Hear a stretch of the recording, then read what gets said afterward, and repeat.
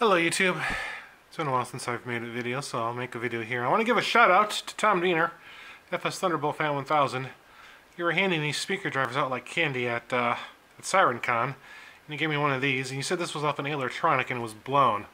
Well, I don't know if you meant, or if you actually checked this or what, but I did a resistance check on it, and I got 4 ohms, and that doesn't seem like it's blown, and if I hook this up to my stereo and play music, it plays music. And it actually seems like it's pretty healthy.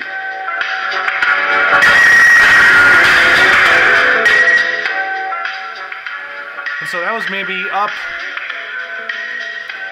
That was maybe up about three quarters of the way on my stereo.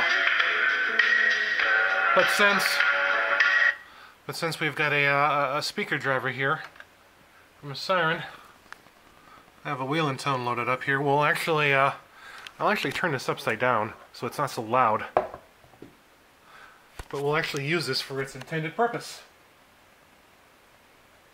So again, I'm up about three quarters of the way. Here's alert.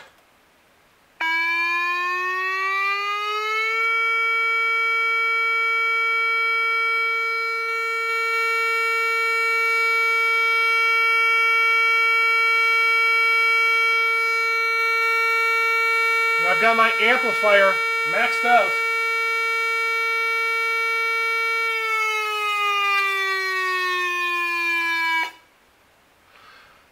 So yeah, if I can get 16 more of these, I can do a makeshift 3016.